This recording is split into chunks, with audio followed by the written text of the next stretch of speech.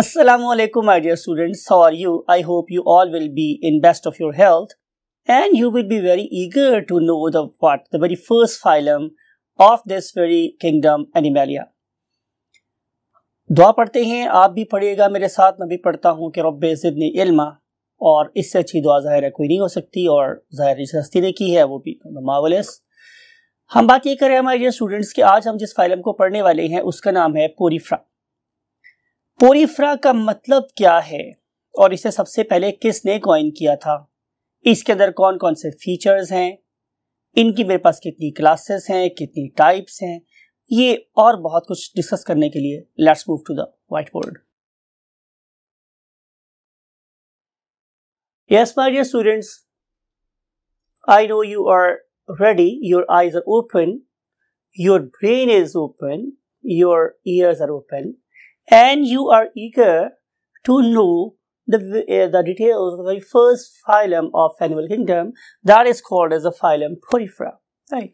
And whenever we say the word Porifera, it means they have got pores on their bodies. Look at this at least four or five images. What is the common thing amongst all these organisms? Yes, perfectly right. All of them have got what? The pores on their body. Therefore, we want to we want to say that these organisms have got only one unifying character and that very character is presence of the pores. Therefore, we are going to group them into a phylum that is called as Porifera, right? Now we want to see what is its origin. You know, we have discussed in the phylum in the Sauri kingdom that was basically none other than Protoctista, right? You know, we have discussed the phylum Protoctista.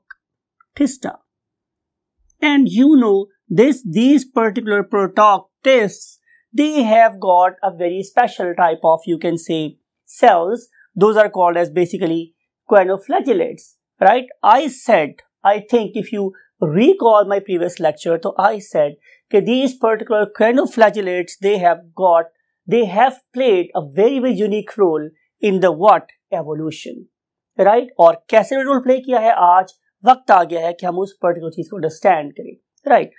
लेकिन बहरहाल हम सिर्फ़ यहाँ पे ये discuss करना चाहते हैं इस पर्टिकुलर मोमेंट पे कि these particular poriferans they have got their root in the kingdom protoctista right what who first of all coined the term porifera the answer is robert grant robert grant was the first person who uh, who you can say use or group these organisms on the basis of pores in their bodies hence we can say the first time the term porifera was coined by the robert grant and if we want to discuss what their taxonomy taxonomy क्या होती है हमने organism को group कर दिया arrange कर दिया into groups and sub groups on the basis of their similarities तो अगर मैं आप लोगों को ये बताऊँ कि आप लोगों की बुक में ये लिखा गया है कि हमारे पास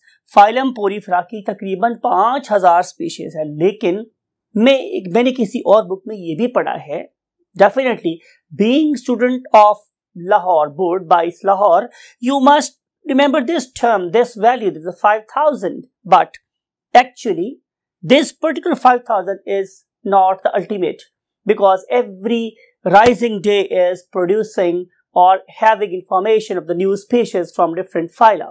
So, up till now we have discussed, we have discovered more than 7,000. It is not 7,000, it is more than 7,000 species. However, it is confirmed that out of these 7000 species, 150, 150 species ऐसी हैं कि जो फ्रेश वाटर में पाई जाती हैं।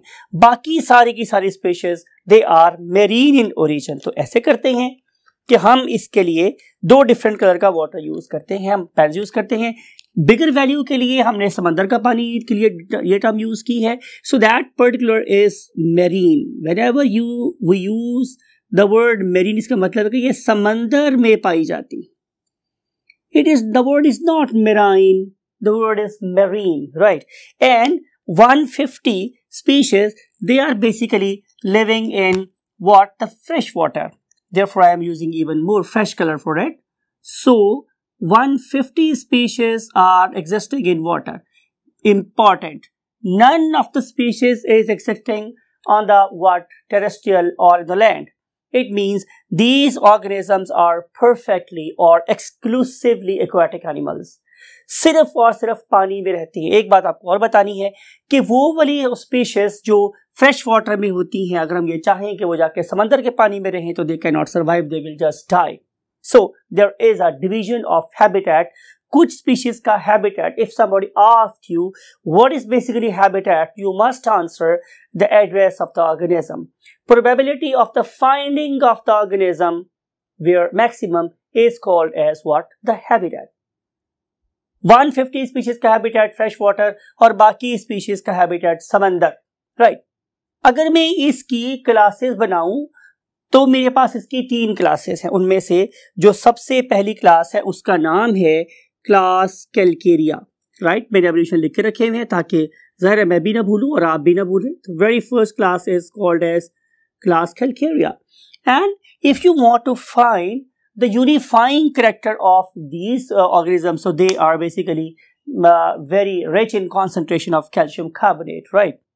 जो मेरे पास दूसरी क्लास है उसका नाम है मेरे पास what class Demospongiae Demospongiae and this very class इसमें जो यूनिफाइंग करेक्टर है वो प्रेजेंस ऑफ़ स्पॉन्जिन है. And the third class is again its name is bit difficult its name is bit difficult लेकिन अगर आप मेरे साथ साथ पढ़ेंगे तो it will not be difficult for you जैसे कि मैंने पहले इसको डिवाइड कर लिया है तीन पार्ट्स में तो मैं भी ये चाह रहा हूँ कि आप इसको तीन पार्ट्स में ही डिवाइड करके याद करें। For example very first part is hex H E X hex and other part is acti A C T I acti and then nellida N E double L I T A hex actinellida right so three classes are number one calcarea number two demospongia and number three is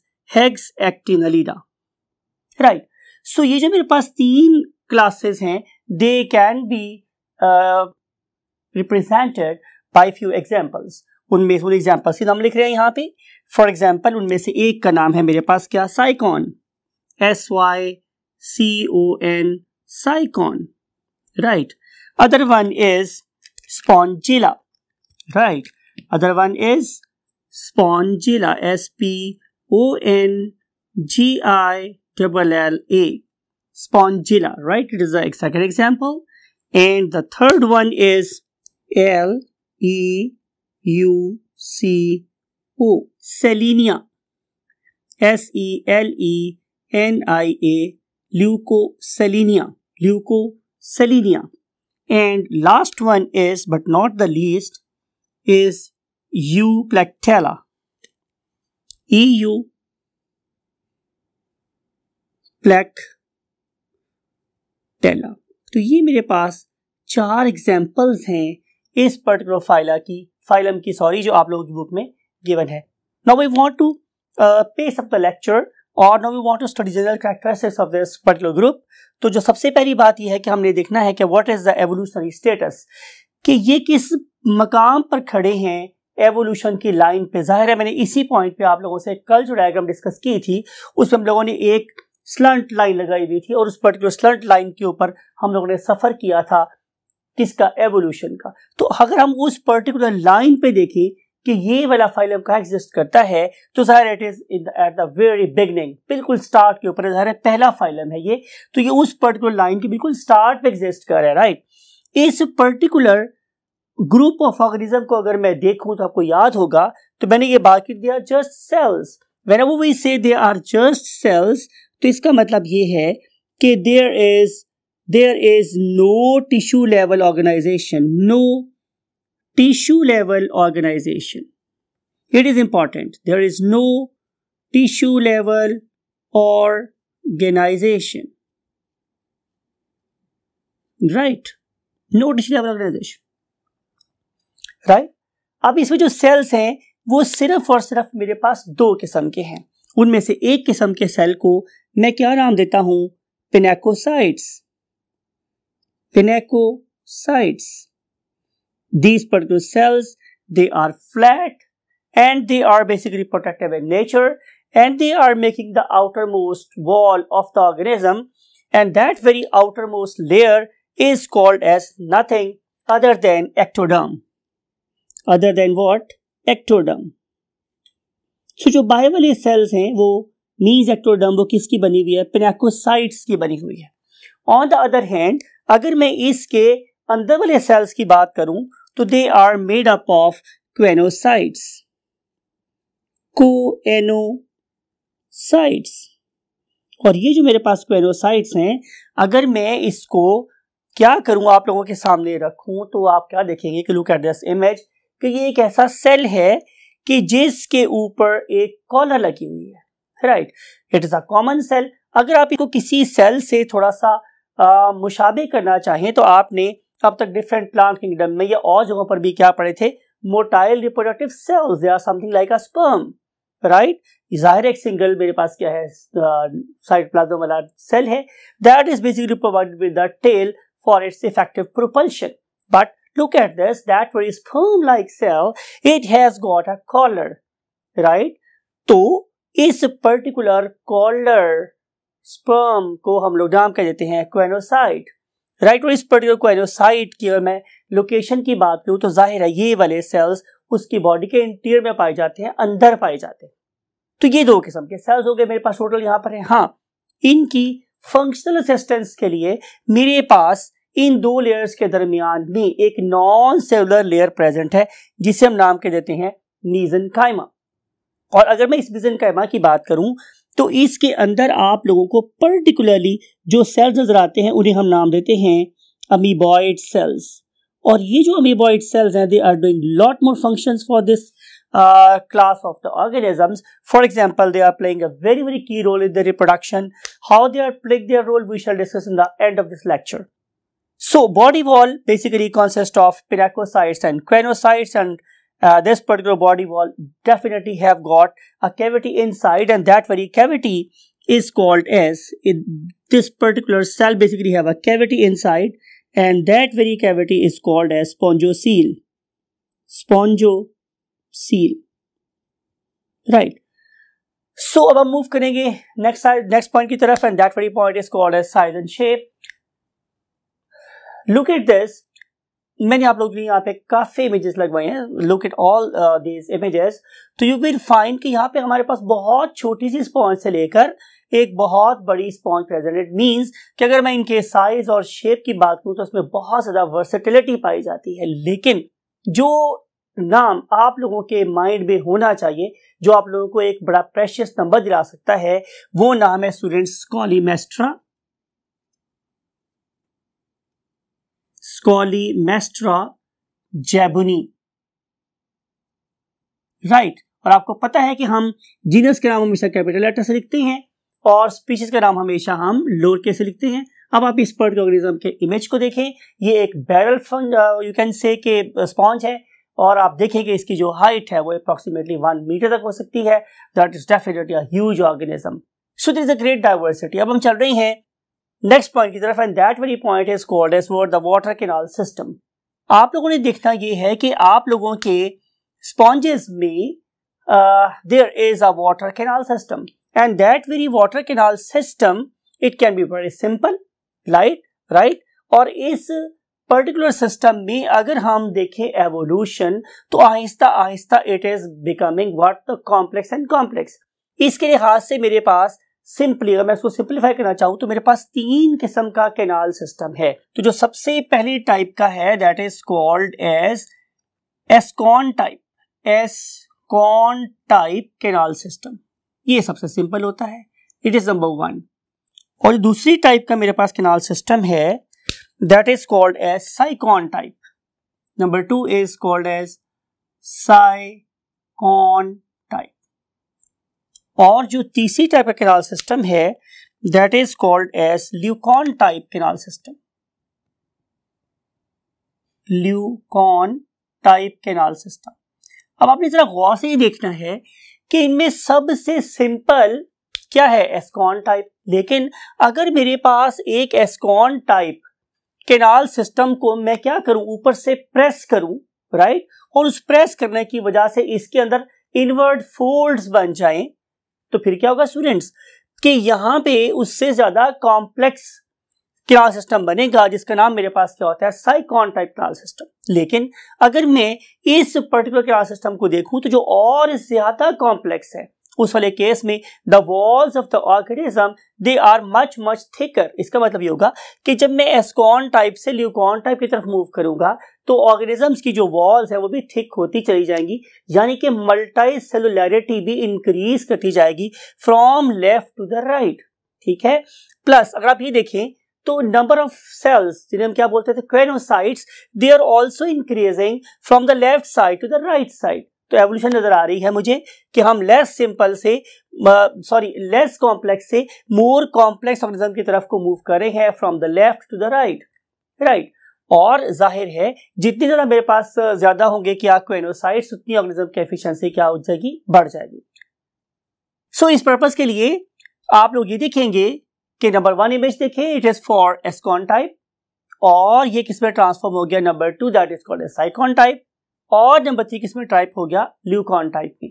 और इस purpose के लिए आपने ये देखना है कि आखिर रबुल्ज़त ने इस ऑर्गेनिज्म के अंदर इस वाटर के नाल सिस्टम को क्यों रख दिया है? तो इसका आंसर मेरे पास ये है कि these this particular water canal system it is going to carry out its role in nutrition in respiration and in circulation right अब what is meant by nutrition खाता पीता क्या है?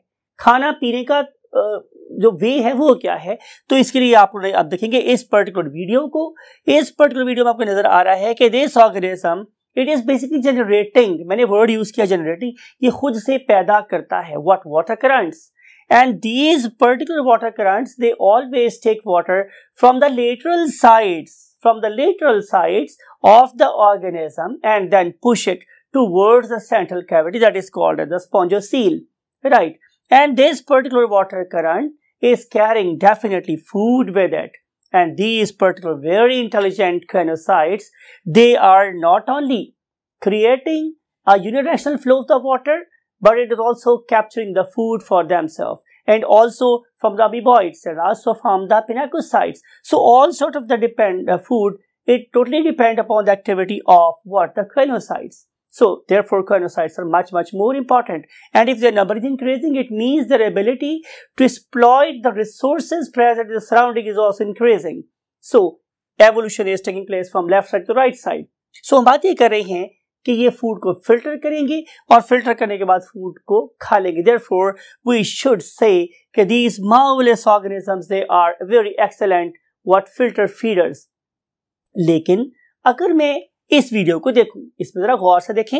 यहाँ पे आपको क्या नज़र आ रहा है कि ये ऑर्गेनिज्म मुझे बाहिर बड़े सुकून में पीस में नज़र आ रहे हैं because water is very much clear लेकिन जरा गौर से देख, देखते हैं कि क्या ये ऑर्गेनिज्म इतने ही आराम और सुकून से रहते हैं? तो answer is no they are very excellent pumps जैसे मैंने आपको बोला कि they are constantly fetching water from the side toward the centre can we prove it yes, we can prove it with this video. Look at this.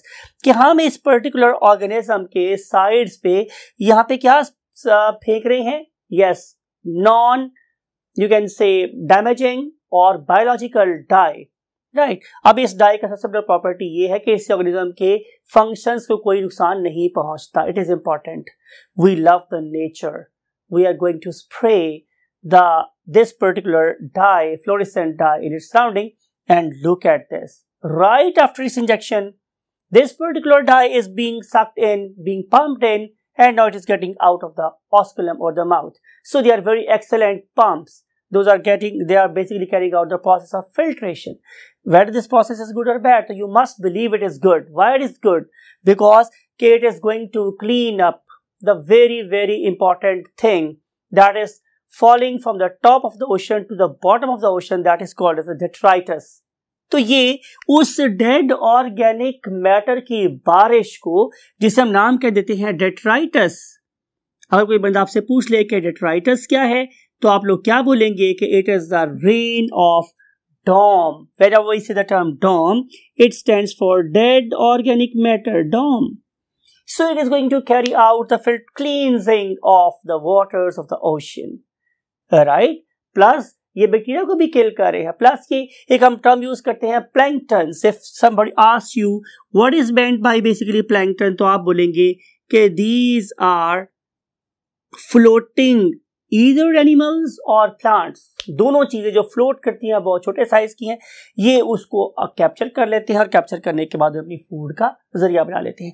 So it means के their source is their source of nutrition is इधर detritus और it they may be the planktons right अब हम देखेंगे कि respiration कैसे हो रही है। Water the chief source of their life आप देखेंगे यहाँ पे कि रेस्पिरेशन के लिए हमें बहुत ज़्यादा ओ टू नहीं चाहिए because most of the organism they are cell in nature they not move they not have to carry out the production of excessive ATP so they respiration just depend और just need oxygen for very very important what it cells only for reproduction only और for the choanocytes to carry out the pumping of water in one direction to this purpose oxygen is basically coming from the water and CO2 is being released into the what?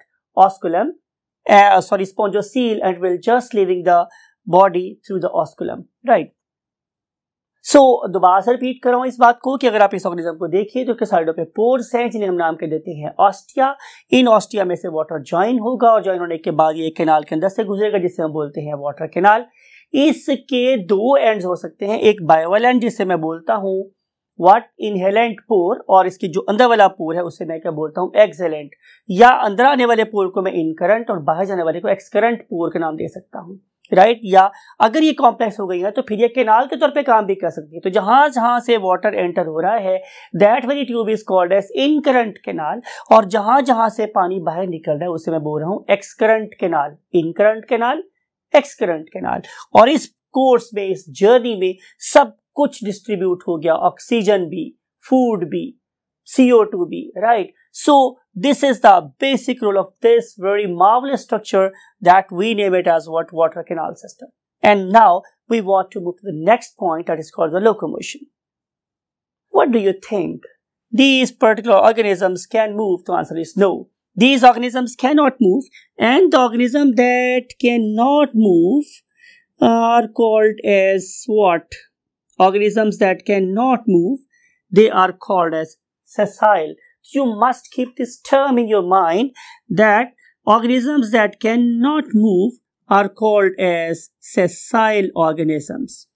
Sessile, that cannot move. Right. Now, really, they cannot move. The answer is no. They can move. However, they can move at the stage of their larvae. So we must say that their larval stages, their larval stages are motile. They can move. And, oh my god, look at this, you can say video. They are literally showing some movements, particularly around their osculum. Right इस particular osculum को खुलना भी है और बंद भी होना है depending upon the inner situation of the body However, it is important, they are not that very quick responsive to the stimuli. Sometimes we stimulate them and then they show the response for the longer, longer, longer time. It means that whatever they are doing, they, uh, they keep on doing it for even a longer period of time.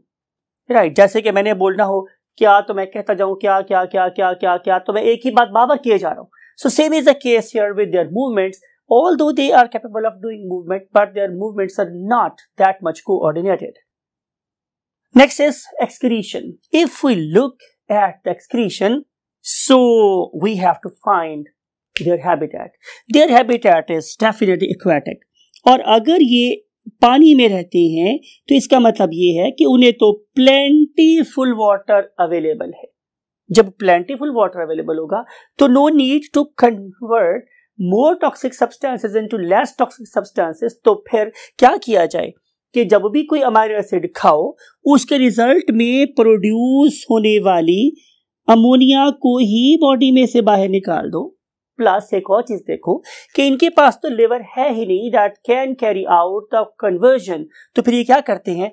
ये ammonia को ही water में release कर देते हैं। Therefore we should say them ammonotelics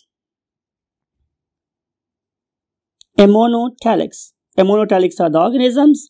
Those are basically living in water and they are carrying out excretion of ammonia directly. Right. I think too much on this column of the board and we should jump to the next column. Look at this. We are going to start with the nervous system. I think we have talked much about nervous system. This particular nervous system is not that much efficient, right?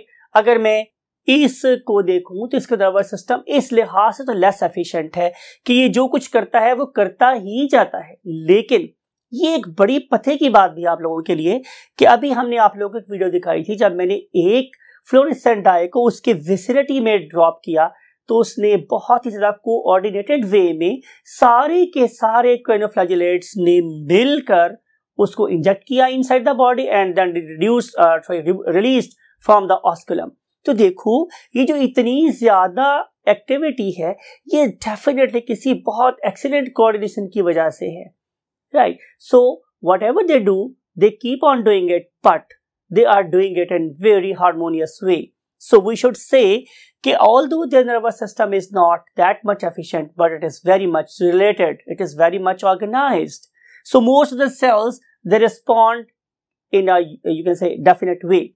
So, nervous system के बाद आ जाते हैं हम लोग इसके skeleton की तरफ़। तो skeleton में आप लोगों को, जो मैंने आपको बात बतानी है वो ये कि ज़ाहिर है, एक इसके बाहर वाले सेल्स थे, आपको याद है उसका नाम क्या था? पिनाकोसाइट्स ठीक है? पहले वाले सेल का नाम क्या था मेरे पास? पिनाकोसाइट्स और अगर मैं आप लोगों को कॉलर्ड सेल्स की बात करूँ तो दोज वर क्वेनोसाइट्स राइट और फिर आपको याद है कि इसमें हमारे पास अमीबॉइड सेल्स भी थे। राइट और ये सारे के सारे cells they are basically constituting their body लेकिन मैं इन पर्टिकुलर सेल्स को आपस में लिंक कैसे करता हूँ? इनको जोड़ के कैसे रखता हूँ? या अगर मेरे पास बहुत सारी बुक्स है घर में तो मैं इन पर्टिकुलर बुक्स को ऐसे ही बिखेरने देता हूँ? या मैंने उसके लिए कोई रैक बनाया हुआ है जहाँ पे मैं इन पर्टिकुलर बुक्स को उठा के तरतीब से रख देता हूँ? सफ़ाई तो यहाँ होती है राइट अगर आपके अगर आपके ख्याल में वो डिस्टर्ब बुक्स आर बैड तो आप क्या करेंगे कि आप उन बुखरी, बिखरी हुई बुक्स को उठाएँगे और उठा के किसी एक बहुत ही महजब इंसान की तरह से बुक रैक में रख देंगे और otherwise you will feel like any bad Pakistani so so, uh, ये जो मेरे पास सेल्स है नेचर ने उसको ऐसे नहीं फेंका हुआ बल्कि किसी खास तरीके से किसी खास पैटर्न में अरेंज किया हुआ है। और उस पर्टिकुलर पैटर्न को बनाने वाली जो चीज़ है मेरे पास those are very very specific cells we call them as a spicules right तो ये जो एक uh, क्या बनाएँगे? मैट्रिक्स बनाएँगे। मेरी बॉडी का जैसे कि वो काम जो मेरी बॉडी में मेरी बोन्स कर रही हैं वही वाला काम इन ऑर्गेनिज्म में स्पिक्यूल्स कर रहे हैं so when the spicules arrange themselves they make a specific pattern और उस स्पेसिफिक पैटर्न पे फिर मेरे पिनाकोसाइट अरेंज होंगे और उस पर्टिकुलर पैटर्न के अंदर वाली साइड पे ज़ाहिर है पिनाकोसाइट्स अरेंज होंगे और इनके दरमियान दरमियान में फिर घूमते फिरेंगे मौज करते फिरेंगे कौन cells. So spicules, they are, they may be, uh, you can say, a single, uh, you can say needle or they may be tri-radiated. Look at this image. तो आपको ऐसा भी हो सकता है कि वो आपको ट्राई नज़र आए और ऐसा भी हो सकता है कि ये ट्राई जो है आपस में कंबाइन होने के बाद फिर डिफरेंट पैटर्न्स और भी बना लें अब हम चलते हैं लास्ट टॉपिक की तरफ़। That is called reproduction re means again and production is basically word to produce यानी कि एक ऐसा प्रोसेस में ऑर्गेनिज्म अपने जैसे और ऑर्गेनिज्म प्रोड्यूस करता है। दैट इज़ कॉल्ड रिप्रोडक्शन और रिप्रोडक्शन की हमारे पास दो टाइप्स होती हैं। यू नो कोई नई बात नहीं, आपने ग्रेड नाइन टेन में बहुत पढ़ किया हुआ इस बात को। One of them is called as asexual reproduction in this case of asexual reproduction we dot have to have two organisms we can have only one organism and that organism can give rise to many the organisms like at in a very less period of time so it is a very quicker way of reproduction so what are the possible two or three ways? One of them is called as budding. One of them is called as budding. तो my dear students budding क्या होती है is nothing other than just an outgrowth अब जो bird है, ये इस look at this कि इस ऑर्गेनिज्म के बाहर भी प्रोड्यूस हो सकती है और इस ऑर्गेनिज्म के अंदर भी प्रोड्यूस हो सकती है right in any case, whether it is internal or external whenever it will detach itself from the body it will give rise to the new organism and then we have the gemmules they are you can call them as inner birds so these gemmules, they are basically producing on the inner side of the body and whenever they will detach, they will give rise to organism. Still another thing is there that is called as a fragmentation. ऐसा भी हो सकता है कि एक organism accidentally टूट जाए तो इस ऑर्गेनिज्म की डेथ नहीं होती बल्कि ये जो पीस टूटेगा it will give rise to the new individual. So this type of reproduction is called as asexual reproduction. And now we want to move to the next thing. Last thing that is called as sexual reproduction. Uh, if you look at the sexual reproduction, you know we have to have two different sexes or genders. So you know either, uh, no, no, we have to have two organisms. One of them should be the male, other one should be the female. Now, if we look at these organisms, they are not very specific in their jobs. However, they may be hermaphrodite. Whenever we use the term hermaphrodite, it means these organisms have got both the testes and the ovaries or the sperms and the egg in the same organism. So therefore they are called as what? Hermaphrodite. Lekin it is not true for all the sponges. Different types of sponges may be monoecious, other may be dioecious, right? When we term the we use the term monoecious, it means one organism have got the both characters or both genders, right? So the organism may have the may have two sexes in the organism or one sex per organism. दोनों possibilities हो सकती हैं. सो so, अब ये provide क्या करेंगे they will provide be the sperms and they will provide be the eggs they will provide me the sperms और other ones may provide what the eggs right और जब यहाँ से स्पॉन्स प्रोड्यूस होंगे तो दो चांसेस हो सकते हैं। पहला चांस क्या हो सकता है? कि ये वाले ऑर्गेनिज्म अपने ही बॉडी के एग्स को फर्टिलाइज कर दे, अगर ऐसा हो तो it is called as self fertilization although it can happen but it is not encouraged it is not appreciated by the nature. Nature always like in the recombination of the genes. Therefore, most of the time the sperms travel from one organism to the other organism despite of the fact that both are hermaphrodite. But both try to exchange their sperms. This is called as what? cross fertilization.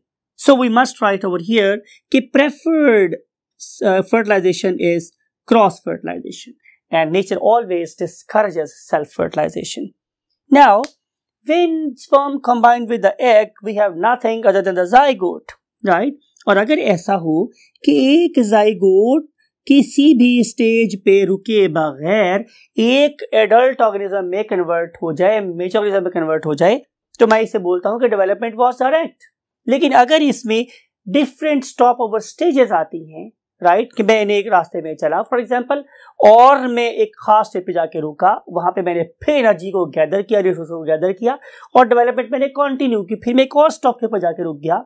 जो energy मेरे पास पहले store थी, वो use हो गई consume हो गई। तो मैं दोबारा से एनर्जी के सोर्स को गैदर कर रहा हूँ, इकट्ठा कर रहा हूँ और फिर मैं क्या किया मैंने? डेवलपमेंट को कंटिन्यू किया और फिर अपनी फाइनल मेच्योर स्टेज में जाकर रुक गया। तो इस किस्म की डेवलपमेंट को हम बोलते हैं इनडायरेक्ट डेवलपमेंट तो याद रखने वाली बात यह है कि ये जाइगोट इस वाले केस में किस तरह मूव करता है? इनडायरेक्ट डेवलपमेंट से पास हो रहा है। It pass through indirect development और इसके अंदर जो डिफरेंट किस्म की लार्वी बनती हैं, उन लार्वी के नाम आप लोगों ने याद रखने हैं right all that is not important for your this level but अगर मैं आप लोगों को उस लार्वी के नाम बता दूँ तो definite it will not be that bad right तो जो मेरे पास डिफरेंट किस्म के लार्वी हैं उनके हम नाम कहाँ लिख सकते हैं? चलें कोशिश करते हैं कि हम उन लार्वी के नेम्स यहाँ लिखते हैं। One of the larvae that that uh, that can be found in this group is called as amphiblastula.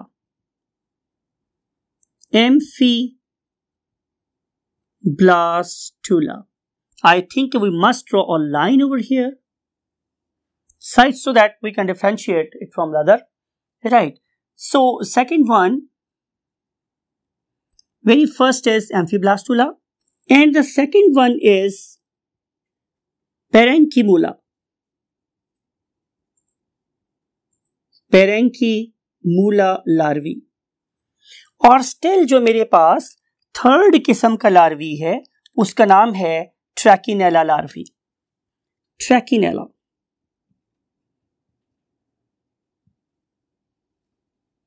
सो तीन डिफरेंट किस्म के लार्वी यहाँ पे प्रोड्यूस हो सकते हैं. One of them is called as larvae other one are called as parenchyma larvae and last one called as a trachinella larvae. So ये different types के larvae हैं या different किस्म की जो classes हैं और sponges उसमें exist करते हैं और ये larvae definitely जैसे मैंने बोला था कि they are there and their function is just one eat and eat and eat and accumulate the four sources for the continuation of the growth and development. Once they are dead, it, then they will settle down after after swimming for some time, and when they settle down, they will give rise to the new organ, new you can say cycon, and that very uh, new sponge sorry that very new sponge will be definitely different from their parents in the terms of fitness in the terms of survival in the terms of evolution because they are the product of sexual reproduction. So only reason only advantage of sexual reproduction is to revive or to modify the dna as per the induction of different types of environmental what forces. After these larvae now we want to discuss the last concept of this very topic and that is called as importance. We don't have that much space in the end so we should shift this particular topic over here. Now we want to write another topic that is called the importance. अब ये जो मेरे पास group है इसकी सबसे पहली importance क्या है ecological importance and these particular organisms they are very very excellent calcium recyclers ये बहुत बड़ा बहुत बड़ा रोल है very very important role they are excellent calcium recyclers लेकिन इसके अलावा, अगर मैं आप लोगों से बात करूँ तो आमतौर पे जो स्पंजेस हैं, उनका रोल वॉशिंग एंड बैदिंग में होता है। वॉशिंग एंड बैदिंग ठीक है? आमतौर पे हम इसको अपनी जो कटी फटी एड़ियाँ होती हैं, उसके ऊपर जो डेड सेल जमा हो जाते हैं, उनको वो उसको रिमूव करने के लिए इस्तेमाल करते हैं। ऑल दो हम इनको सिंथेटिकली भी बना रहे हैं, लेकिन मोस्ट ऑफ़ द प्लेसेस पे हम इनको इसी पर्पज यूज़ कर रहे होते हैं। और बहुत जगहों पर ये इस्तेमाल होती हैं इन सर्जरी आपको पता है कि जो सर्जरी है, उसमें बहुत सारा ब्लड लॉस हो सकता है। तो these particular sporous organisms they are very very excellent absorber of the blood ठीक है? तो जो सबसे अच्छी इस पर्पज के लिए स्पॉन्जेस मानी जाती हैं, वो हमारी मेडिटेरेनियन सी की मानी जाती हैं। मेडिटेरेनियन सी की जो स्पंजेस है वो मानी जाती हैं तो ये है just three uses. Number one, they are calcium recycler. Number two, they are used for washing and bathing. And number three, they are very excellent soakers of the blood. Therefore, they are being used in surgery. So that's it for today. That's it for, for this you can say class. और कल हम आप लोगों से मुलाकात करेंगे एक नए फाइलम के साथ and that very phylum will be not none other than Nidaria or the Coelenterata. Right? Till that time, take very good care of yourself and your great parents. Always keep us in your prayers as well. और इन नेक ख्वाहिशात नेक तमन्नाओं के साथ कि आप अपने marks अपने exam में बहुत अच्छा स्कोर करें और हमारे लिए भी नेक नामी के सबब बने। मैं चाहूँगा आप लोग इजाज़त और कहूँगा आप लोगों को अल्लाह हाफिज़।